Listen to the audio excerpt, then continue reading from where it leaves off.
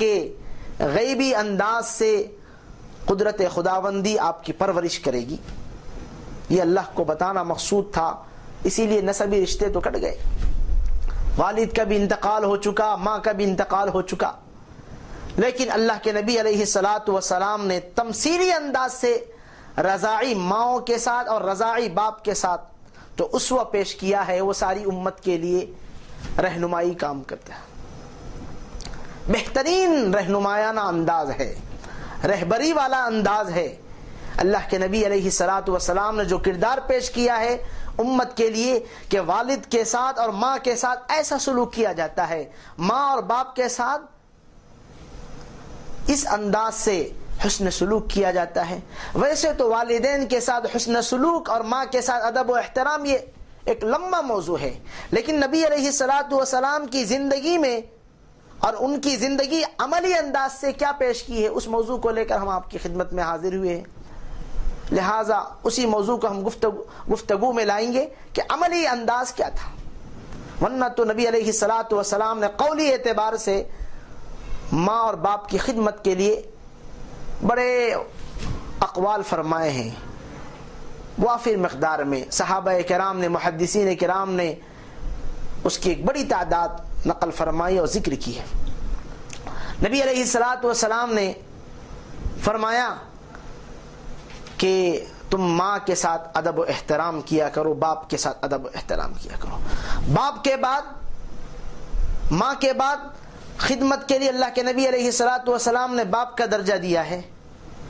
और कुरान मजीद में अल्लाह जल्ल शाह ने अपने हकूक़ की अदायगी के बाद, वालदेन के हकूक़ का ज़िक्र फरमाया इसलिए कि अल्लाह के हक़ के बाद और अल्लाह के हकूक़ के बाद अगर कोई हक़ है तो वो वालदेन के हकूक़ है, वालदेन का एहतराम है। इसलिए कि दुनिया में आने का बुनियादी सबब यही माँ बाप बने हैं।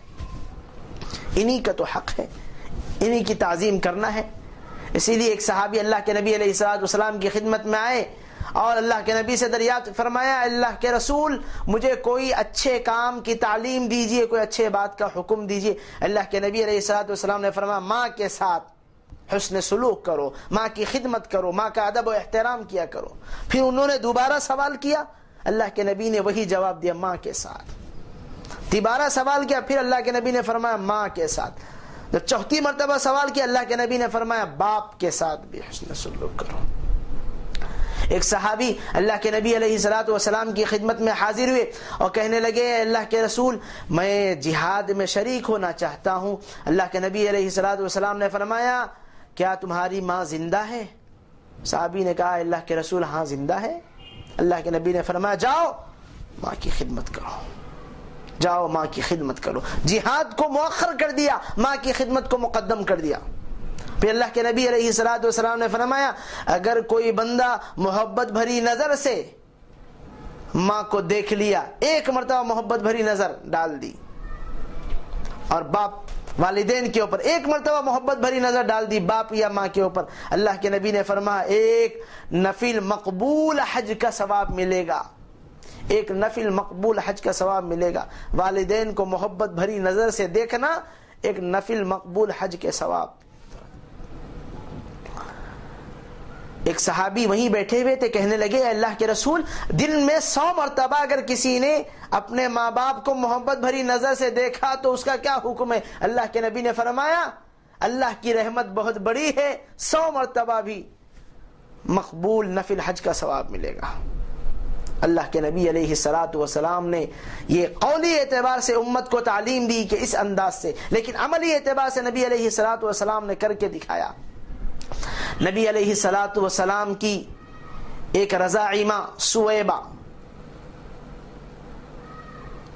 ये वही सुएबा है। अबू लहब ने अपने भतीजे की पैदाइश पर खुशी में इस सुएबा को उंगली के इशारे से आज़ाद किया था। उंगली के इशारे से आज़ाद किया था। एक मरतबा किसी ने अबू लहब को ख्वाब में देखा कि क्या हुआ? अबू लहब ने कहा कि अल्लाह ताला ने मेरे साथ जो करना था, मैंने जो किया, उसकी सजा तो मुझे मिली, लेकिन मैंने उंगली के इशारे से, मैंने सुएबा को आज़ाद किया था, भतीजे के पैदाइश पर, अल्लाह ताला ने उसकी वजह से मेरी इस उंगली में मिठास रखी है। इस उंगली में मिठास रखी है। अबू लहब नबी सलात वसलाम की पैदाइश पर सुएबा को आज़ाद किया था।